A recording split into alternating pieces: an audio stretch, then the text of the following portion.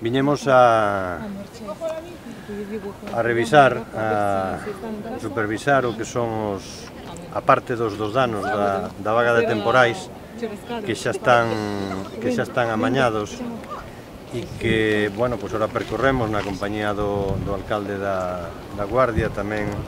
de representantes do Grupo Municipal Popular e de, do, do enxeneiro xefe de Zona Sur de Portos de Galicia, bueno, para contemplarse, digo, os, os danos que xa, xa foron solventados, que teñen que ver sobre, fundamentalmente con unha serie de socavóns en este treito de paseo que acabamos de percorrer, que ten que ver tamén con eh, algunhas reparacións en cubertas de, de edificios anexos a, a lonxa e despois tamén algunha reparación algunha, en algunha escaleira que estuvemos vendo hai, hai un, un rato, se si eso lle engadimos un,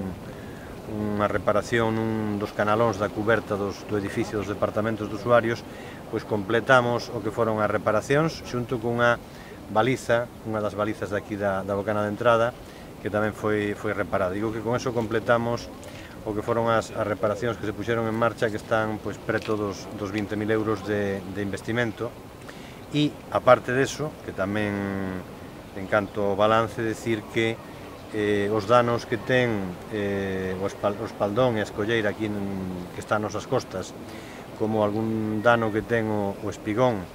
como uns danos que hai na parte inferior da, da rampa que está na praia do Carreiro, Eso forma parte dun expediente de contratación aparte que lle comentábamos antes a, ao alcalde e ás concelleiras que pola súa tramitación administrativa, bueno, pois está seguindo o curso o curso habitual e pretendemos acometelo pois o antes o antes posible. Somos somos coñecedores que no que son infraestructuras portuarias desta dimensión, desta entidade, teñen que estar desde logo eh, reparadas antes de que veña o próximo o próximo inverno, pero vamos a tratar, porque así nos lo transmitían e nos parece nos parece lóxico, vamos a tratar que sobre todo a actuación da rampa do, do Carreiro sexa a primeira que se acometa, entre outras cousas, porque é unha infraestructura de acceso a un, a un areal, é unha infraestructura titularidade fundamentalmente de, do ente público de Portos de Galicia e o noso interese en esa, en algún outros danos que hai en, en infraestructuras parecidas na, no litoral galego, en zonas portuarias, pois queremos queremos priorizar. Estou ahora mesmo pensando en dous ou tres lugares máis da costa onde temos situacións eh, parecidas. Ola, ao lado dese, dese, dese balance de, de como están as cousas, logo das dúas visitas que fixemos eh, recén sucedido aqueles, aqueles danos do temporal, estuveremos aquí un par de veces, pois falamos tamén de outra serie de cuestións que teñen que ver coa, coa interrelación que hai entre as zonas portuarias e os cascos urbáns e que pois o, o enxeñero xefe da zona sur pois, tomou boa nota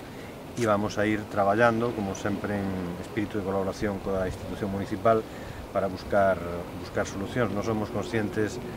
de que son tempos difíciles para acometer grandes investimentos, pero eu creo que o mellor que pequenas pequenas actuacións sempre desde unha perspectiva de, de consenso que buscamos coa institución municipal, coa propia cofradía e incluso cos colectivos eh, sociais, comerciais, correspondentes, pois eh, está, digamos, a, a plena disponibilidade de, do ente público para, para facelo. E xa digo, basicamente, se non me esquezo nada por a miña parte, é o que quería quería comentar. Aquí do presidente de Portos, sempre que nos visita algunha persoa que ten competencias en calquera cuestión daqui da Guarda é de agradecer para poder mostrar o grado de satisfacción por as obras feitas ou para poder demandar aquelas que consideramos que restan por facer. Neste caso acabamos de comprobar como el vendí que a meirande parte das pequenas reparacións están feitas e esperamos, el tamén o recollía así, que por exemplo a actuación da Praia do Carreiro, porque é un areal, porque é unha praia moi usada por xente daqui do casco urbán, que poda estar solventada antes do próximo verán para que os usuarios pois podan disfrutar dela. E lle mostraba, e lo decía tamén, eh, eu vou a repetir, lle mostraba a preocupación que temos para que o paseo superior da zona dos restaurantes siga tendo ese espírito peonil co que naceu, uh -huh. que nestos momentos seguramente pois hai momentos, hai ocasións en que non responde demasiado a iso e quedamos emprazados a sentarnos todas as institucións e os interesados que teñen algo que decirnos para mirar a ver como acometemos ese, ese problema. E por último, poñía en riba da mesa, xa levo fei, feito desde fai moitísimo tempo, que esta zona na que estamos, a nosas costas está unha réplica da taralla, pois bueno, que poda ser obxeto de algún tipo de tratamento que mellore este entorno que, as, como a xente sabe,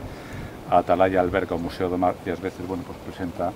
un estado bastante deprimido. Ten que ser unha actuación especial, porque sabemos tamén que é unha zona moi lavada, moi barrida por os temporais, pero, bueno, que eu creo que algo haberá que facer.